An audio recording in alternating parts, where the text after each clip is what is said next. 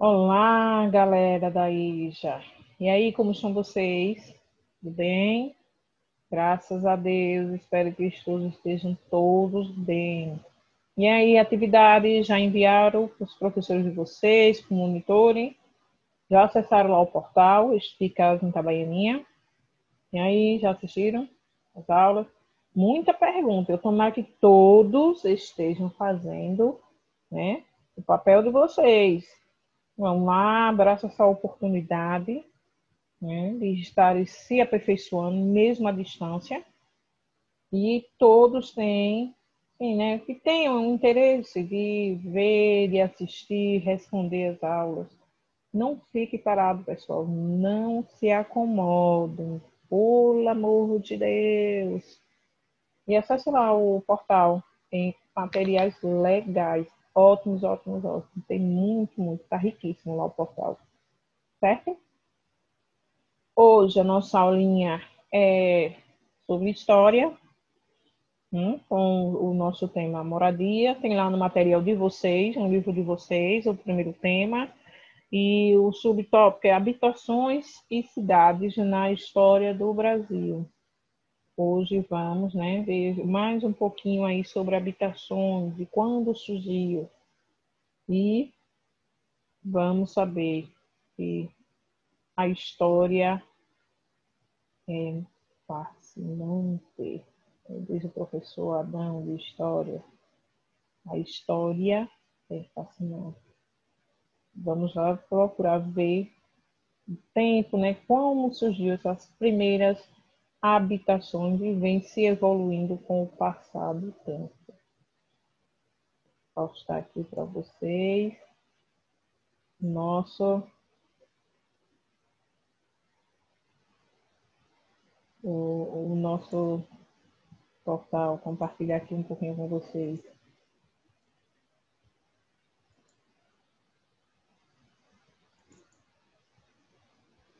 Pronto, nosso aparelho aqui, educação dos jovens e adultos, aprendizagem ao longo da vida. Com o nosso tema, habitações e cidades na história do Brasil. Temos três tipos aí, né? Como assim? Três tipos de moradia. Passado, presente e futuro o passado, como a gente sabe, né, da, da, da pedra, como surgiu, pedras, palha, como até hoje vivem os índios, né, nas suas ocas, feitas de palha. Presente é a nossa moradia, alvenaria de, de, de madeira, mais sofisticada do que antigamente. E futuramente se imagina assim, as modernias do futuro, que até os próprios desenhos animados já influenciam, já demonstram, né? Esse, essa moradia do futuro, como vai ser. Né? Os próximos moradias, eles mesmos já projetam nos, nos desenhos, nos desenhos animados. O passado, com o homem das cavernas, eles eram nômades isto é, não ficavam no mesmo lugar por muito tempo. Isso porque ele, quando se sentiu ameaçado, eles saíam daquelas moradias, né, das, das cavernas, que a moradia era as, aqueles buracos que eles cavavam em rochas. E quando se sentia ameaçado por algum bicho, por algum animal, eles procuravam outro mais escondido, outras rochas para fazer suas casas debaixo das pedras. Como até hoje nós, né, vendo aí as escavações acontecem e encontram aquelas paredes com gravuras, escrituras, como eles achavam que estava transmitindo a mensagem dele. Aquelas pinturas campestres nas paredes das cavernas. E aqui temos a, né, o desenho animado que passa é a Slipstone, que é a estrutura de pedras que havia antigamente, os animais feitos de objetos de, de utensílio de casa, como tem aí o modelo, né? Aí aqui tem. Você conhece essa família, né? Do desenho Nadói. Aqui é um cortador de grama feito com um dinossauro, ah, empurrando as rodeirinhas de pedra. Aqui parecendo um chafariz, não, um molhador de grama, mas é um elefante da idade da pedra, pré-histórico. Então tudo isso meio assim antigo, pedra com a modernidade, porque se pensar até nesses utensílios, mas utilizando o da época dele, ferramentas da época dele, né? Chafariz naquele tempo não existia, mas o desenho já quis fazer essa mistura. E aqui ao lado temos outra gravura de outra casa. Que casa seria essa? Com essas janelas grade, assim, esse recorte de pedra por dentro, outras aqui de tijolinho, a estrutura, não rebocado, chão, sem piso. E aí, alguém descobriu? Quem saberia dizer o que é isso? Será que alguém morava aqui? Nessa estrutura, parecendo uma, uma, uma cela de, de, de prender animais. E aí, pessoal?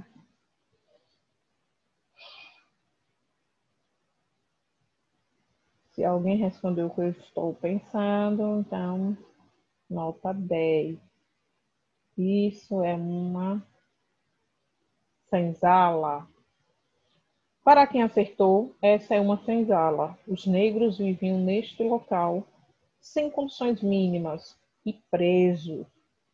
E os negros, olha, que chegavam em porões de navio. Os negros chegaram nos porões de navio Aí como, como chegavam, viviam um por cima dos outros, quase sem roupa nenhuma, e tudo amontoado, não tinham casas. Moravam nessas dependências aqui, sem um mínimo de, de nenhum pedaço de, de, de, capim, de, de nada, assim, de um colchão que antigamente era o colchão era de capim, não era de espuma, né? Não nada, era no chão mesmo. Por isso que adoeceu muito. Olha a estrutura aqui, pessoal. E muita gente ainda reclama da casa que tem. E aqui por fora, essa é assim a, a senzala, mais retirada um pouco, né? Afastada um pouco da casa central, da casa do, do dono. E aqui acabavam presos na senzala. Muitos também da senzala era abaixo né, da casa dos, dos donos os fazendeiros. Eles eram em cima e a cinza lá embaixo, feito teto de madeira, porque escutavam o que, é que os negros faziam, eles tinham, ficavam observando. É, e era tempo difícil. Aqui tem outra estrutura de casa. Aqui todo mundo já sabe pela estrutura, né? É uma favela, uma casinha por cima da outra, montuada, subindo um morro. Até hoje, muitas pessoas vivem em péssimas condições. Em comunidades sem saneamento básico, algumas dessas comunidades estão sendo urbanizadas. E a famosa favela. Temos aqui outros modelos. E essas mansões? Será que é muito justo pessoas com muito e outras com tão pouco. Fica aí, né? Essa análise para nós. Justo não é não, né? Mas é o nosso mundo, né? Que é assim nessa desigualdade. Essa mansão aqui, parece uma casa roseira, casa rodada. Essa outra aqui branquinha, essa outra mansão bem luxuosa, para pouca família, né? Apareci na casa do presidente dos Estados Unidos, Casa Branca, enquanto muitos aqui aglomerados, 10, 12 pessoas dentro de um quadrado. E aqui uma família com dois ou três, no máximo quatro pessoas dentro dessas mansões.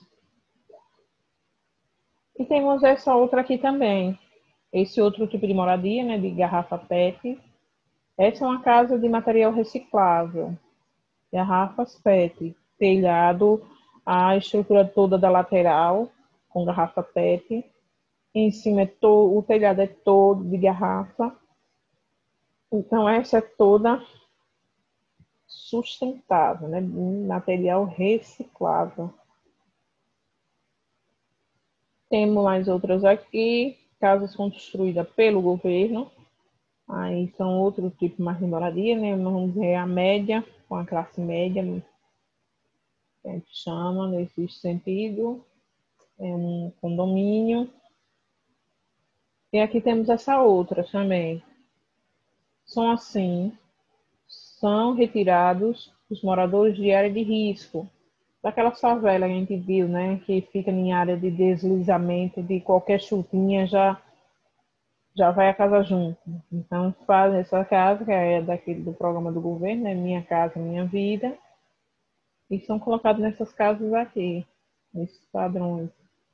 E aqui ao lado temos também né, a casa. Vamos pensar no futuro. Conhece os Jackson? Observe alguma semelhança com os Swiftstone do passado. Os Jackson, né, aquela moradia do futuro, que não vai existir mais telefone, que não vai andar mais com o telefone no bolso, quando assim, quero fazer uma ligação, a casa em si já desce com aquele telefone, com a televisão, o computador, tudo móvel, quando alguém quer falar via né, com outra pessoa de outro local, já é uma transmissão ao vivo não é mais telefone, o sofá, tudo, tudo, tudo diferente, luminária, padrão de, de, modelo de casa diferente, as casas do futuro, suspensa, né, parecendo um, um disco voador. A funcionária do lar que ajuda na casa vai ser um robô, tudo mecanizado, quem vai fazer a limpeza da casa e tudo. E aqui o pessoal da Idade da Pedra, que esse outro desenho foi assim modificado com eles os dois juntos, trocando o papel. O pessoal da Idade da Pedra andando de, de espaçonave, né, do futuro, tendo essa experiência. E o pessoal do futuro andando com um carrinho de pedra. Aqui essa filmagem, aqui essa montagem. Ficou bem legal para ver como fica essas, essas famílias, cada um num, num tempo diferente, como é que eles vão se adaptar ao futuro e ao passado. Hum? bem legal esse desenho, pessoal do futuro e do passado trocando aí os papéis. Os Jacksons com os Flipstone. E essa aqui é uma casa do futuro, cheia de modernismo. Bem de frente para toda a cidade, esse apartamento bem luxuoso e com os seus materiais também, né? Os seus utensílios de, de cozinha, da casa. Também tudo já programado para o futuro. Microondas evita comida crua ou queimada. Quando o usuário coloca suas roupas na máquina, tá aqui a máquina, máquina do futuro como vai ser, os sensores leem as etiquetas inteligentes das peças e avaliam se aquela lavagem pode ou não pode ser feita. Basicamente, será o fim da desastrosa, desastrosa combinação entre a meia vermelha e as camisetas brancas. Caso as, as cores ou tecidos sejam incompatíveis, uma pequena tela indica que aquela operação de lavagem não será realizada e aplica o motivo. E explica o motivo. Viu como os aparelhos são moderninhos? Bem moderno, bem avançado, já fazendo mesmo todo o trabalho do o ser humano. Vamos perder para as máquinas. E aqui o nosso desafio. Você sabe como se deu a aprovação da região em que você vive? Como foi aprovado, como a povoação, como surgiu, né, vamos dizer assim, a região onde você mora, onde você vive. Quando surgiu a sua cidade? E aí, galera? Facinho, viu? Só duas questões e tem também lá essa pergunta no livro de vocês, material de vocês, viu? Respondo lá e envio para professores de vocês. E a mensagem para essa semana. As pessoas vencedoras não só aquelas que nunca falham, são aquelas que nunca desistem. Então, para mim, a mensagem para vocês: nunca desistam. Lute, batalhe, corra atrás. Certo?